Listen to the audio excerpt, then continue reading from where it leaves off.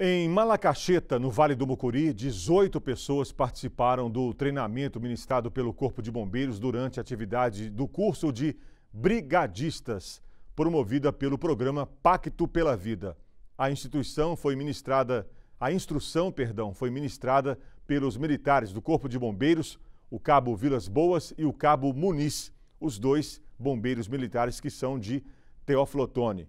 Os discentes tiveram aulas teóricas e práticas de primeiros socorros e também combate a incêndios.